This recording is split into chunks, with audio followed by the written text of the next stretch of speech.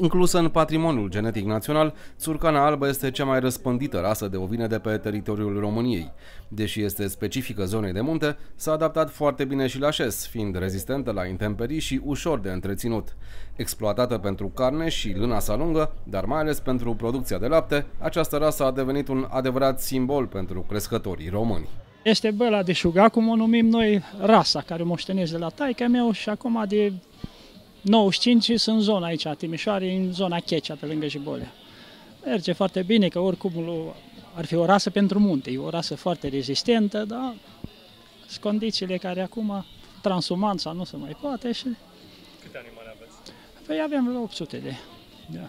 capete. capete care nu mai surcane din astea. N-am uh, modificat nimic până acum.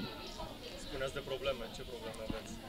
Păi ce să spunem, probleme nu prea multe, cu marfa se trece mai sclap cu brânza, de exemplu, nu avem decât o singură fabrică aici în Timișoara, care dacă nu-i concurență, nu-i preț, să plătește cât dorește, dacă e numai italianul de la Izvin. Și restul, să spunem, mei merg cât de cât. No, am avut mare noroc, bineînțeles, și cu subvenția care ne s-a acordat de la stat, care ne-a mai menținut și nu ne-a descurajat rest, ce să spunem, pășunat avem la primărie cu mulțumim datorită primarului că s-a luptat pentru noi și mai ales că a văzut și rasa că e ceva de calitate, să se mândrească cu ea. De câți ani aveți?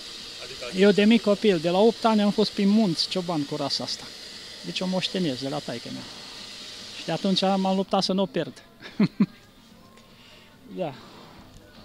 Încă mulți au mai prăsit din rasa asta și în zonele Bistrița acum și satul mare, care n-aveau rasă din asta și acum e foarte căutată în partea aia pe acolo. Țurcana reprezintă 66% din efectiv de ovine în România și are mai multe varietăți. Cea mai frumoasă varietate este țurcana albă, cele mai frumoase exemplare se găsesc în județul Alba, Sibiu și în Hunedoara, dar în special în județul Alba, în localitățile Șugag, Purcăreț, Loman, sunt niște oi splendide, vedeți, cu o talie mare, cu greutate corporală mare, cu producție de lapte bună și cu o lână excepțională.